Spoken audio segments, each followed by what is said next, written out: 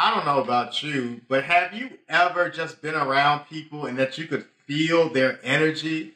Like some people, you just knew that they had some a great spirit to them, and other people was like, "Ooh, I better stay away." Well, one of the things that I love about Jesus is that even at the time of his death, people knew right away just from being around him that he was God. As a matter of fact, so did the centurion that was guarding him at the cross.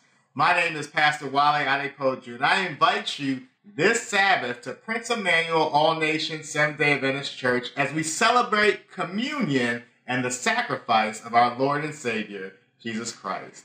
Have a blessed day.